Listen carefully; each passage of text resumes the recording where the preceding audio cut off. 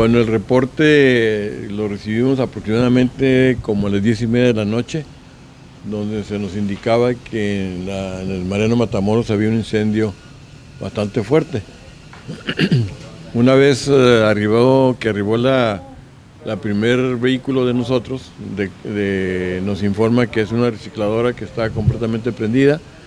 El subdirector acude al lugar del evento y, este, y menciona de que hubo necesidad de evacuar aproximadamente 10 a 15 casas de, alrededor de la recicladora, pues lógicamente para evitar cualquier tragedia mayor.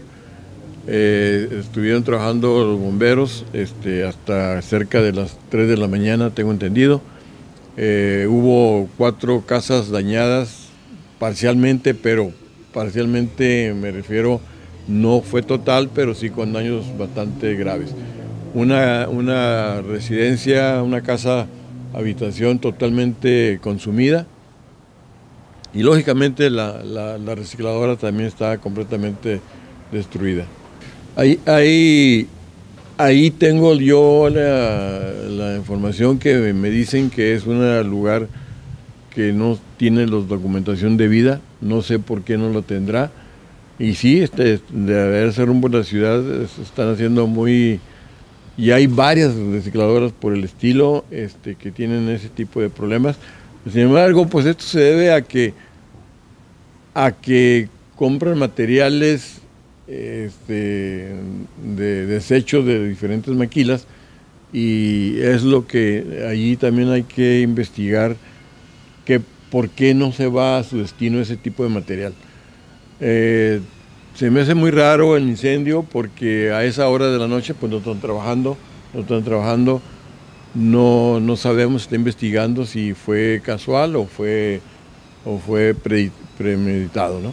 Exactamente, exactamente, este, estamos haciendo un proyecto para la próxima administración de que ojalá que eh, las, estas recicladoras se, se salgan del perímetro de, las zonas habitacionales, porque es un riesgo para, las personas que por ahí viven.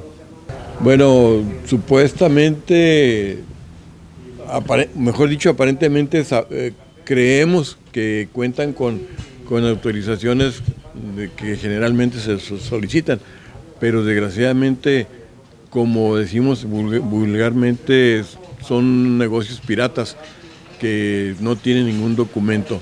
Ok, creo yo que allí sí hay que reconocer que, que no tenemos suficiente personal nosotros como protección civil de, revisar toda la ciudad y más que ha aumentado mucho el trabajo.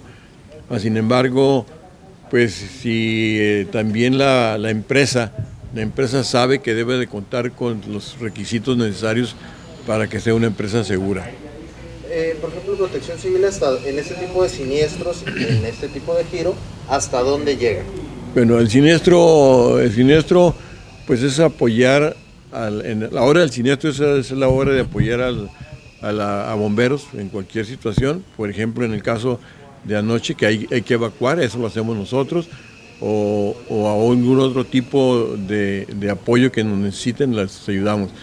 En la cuestión del giro, pues son giros, una vez más, que no cuentan con, las mínimas medidas de seguridad. Y, también, pues hay que cumplir, hay que cumplir con la ley de, que hay que tenerlos, cuando menos las mínimas medidas de seguridad, ¿no? Y no nomás ellos, todo negocio debe contar con las medidas de seguridad que se a la Dirección de Bomberos.